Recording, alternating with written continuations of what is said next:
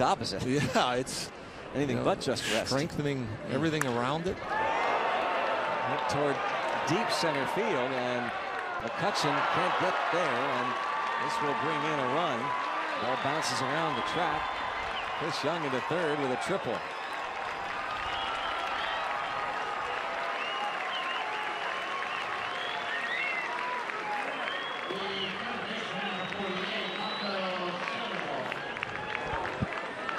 And this ball was hit awfully hard by Young. Only the wind keeps it in the ballpark.